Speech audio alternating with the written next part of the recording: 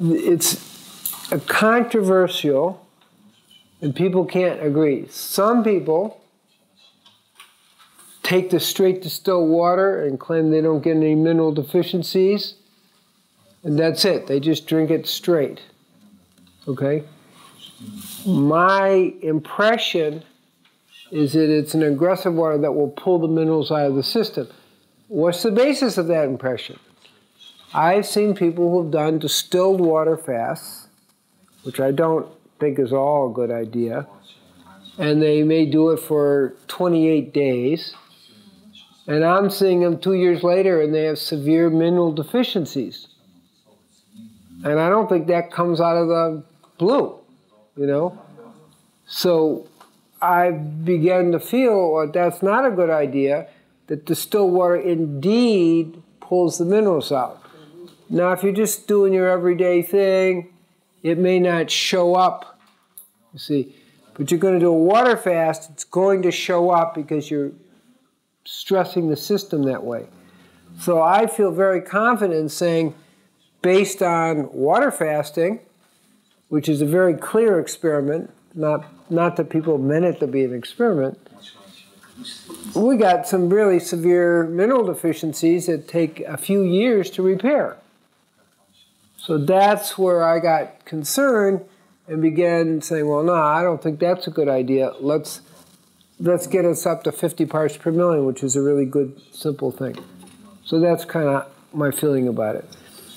People will still debate it. No, no, it doesn't pull minerals out. And it may be that, you know, you don't see it because you're eating other foods that are bringing minerals in.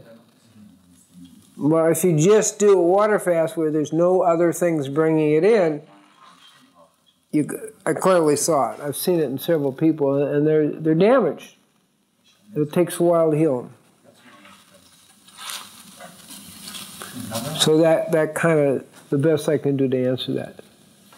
If I can get access to clean spring water, is that better than uh, reverse than uh, distilled water? The clean spring water, if you get it within 10 feet of the spring, is highly energized. And so that makes it better. Now, what's the problem today? How do you know it's clean? So you got to actually test the water and see if it's clean because generally all our uh, much water today is contaminated. It really depends where it's come from. Yeah, you got to check the spring. You take the water and you send it to a laboratory and you have it analyzed. That's how you do it. But the other problem with that is things change. One month from now, somebody's dumping something into some water supply, or there's a breakthrough and the pesticides and herbicides are finally leaking in to the base of your spring water. You don't know for sure. So you do, in a reasonable way, unless you're way out in the, you know, out in nature, you do need to check your spring water. But just because it's spring water doesn't mean it's clean. This is what we're facing. There's fluoride in our environment everywhere. Yeah, and pesticides, herbicides, and all kinds of things. And they're getting into the base water supply. That's part of the problem. So that's a little bit of a downside to the spring water at this point in time. So test it, then you can find out.